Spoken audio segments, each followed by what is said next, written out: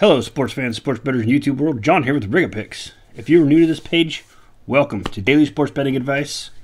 Uh, on a heater right now, so uh, if you guys like free daily sports betting advice, uh, make sure to subscribe, hit that thumbs up button, uh, like my video, hit the little bell for notifications up in the corner. Might be this corner, I think, somewhere in here. But uh, it'll let you know when I put new videos out. And uh, just a quick, quick recap: five and zero in the NFL from Thursday to Monday. Hit the Chiefs tonight. Winner, winner. Uh, three and zero in my last three NCAA picks, NCAA basketball picks. I should re- rephrase that.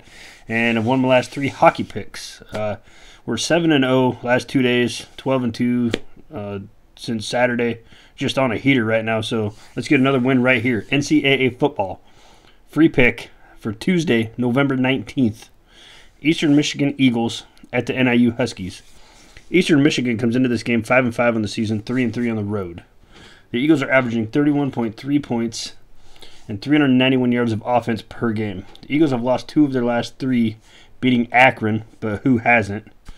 Uh, they lost to Toledo and Buffalo. So uh, the NIU Huskies they come in four and six on the season, two and one at home. The Huskies are averaging only 24 points per game, 370 yards of offense. Uh, the Huskies have won two of their last three, and things are you know they're they're kind of picking up for them. Um, they beat Akron, but again, who hasn't? Uh, they squeezed out a win against Toledo, 31-28. Um, I was on Toledo in that game. I just thought Toledo's offense would get it done, and NIU's defense showed up. And they lost to Central Michigan. They got pounded by Central Michigan, but Central Michigan has pounded a lot of the weaker MAC teams. So that is what it is. On the defensive side, there's a slight advantage to NIU, and just from recent play, it's it's nothing more than that. It's not the uh, overall body of work, although it is a little better. they have a def- decent pass defense, and Eastern Michigan they tend to favor the pass. So that's gonna that's gonna play a small uh, a factor into this game, I believe, is is their tough pass defense versus a pass oriented offense. And Eastern Michigan allows almost 200 yards on the ground, uh, 241 yards through the air.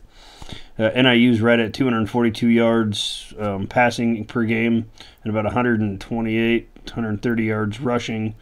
But if uh, Eastern Michigan is going to give them 200, I think NIU will take it. With that being said, your official Ricketts NCAA football paw pick of the day is a half unit play on the NIU Northern Illinois University Huskies, minus five points for a half unit play. Uh, if you guys like the NCAA football content and uh, like winning picks, make sure to subscribe, hit the thumbs up button. Thank you for watching this video.